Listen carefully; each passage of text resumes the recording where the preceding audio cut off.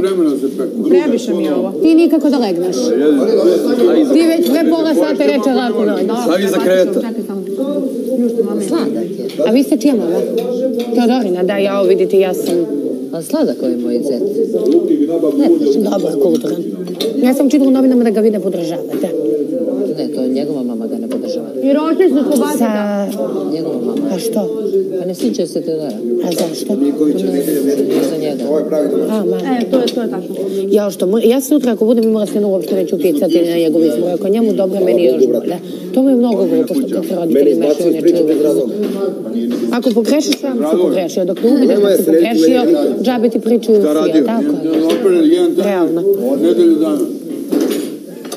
Nema dobro, ni Filip ne pere. A voli A da kad ležite sebe. otprilike da spavate? Ali krade, tako da. A kad vam se gasi sve? Sad se gase. Kad? Koliko ima sati? Tri, 12 do 3. 20 do 3 tek. Pa da.